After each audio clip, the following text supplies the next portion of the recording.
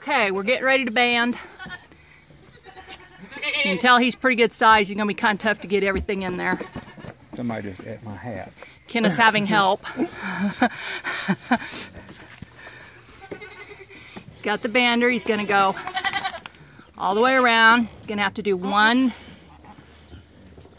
I don't know whether we're big enough band or not. Push it through. Pull it down a little bit more. Push the other one. There we go. Now they're both in there. Pull them down. Make sure you ain't got teeth. Yep, bring the skin all the way up to right there.